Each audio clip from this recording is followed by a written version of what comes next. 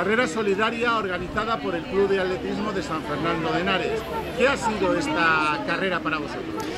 Bueno, pues como todos los años con las jornadas de la diversidad funcional, eh, colaboramos con el Ayuntamiento de San Fernando a organizar esta pequeña carrera para las personas con diversidad funcional.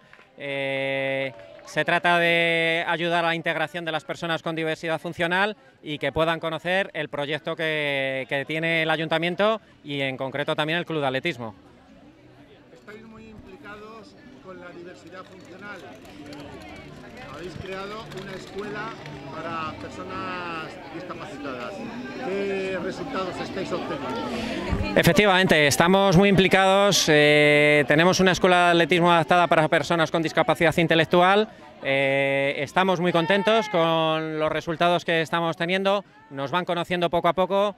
Eh, este año ya tenemos 12 chavales en la escuela y esperamos seguir creciendo con la ayuda del ayuntamiento, que colabora activamente con nosotros habéis puesto un stand en la plaza de Ondarreta. Hemos puesto un stand efectivamente para vender algunas camisetas y cortavientos que tenemos de stock. Eh, lo que sacamos eh, de la venta de las camisetas y de los cortavientos eh, se destina a nuestra escuela de atletismo adaptada y, y bueno, pues esperamos que podamos seguir manteniendo la escuela durante mucho tiempo.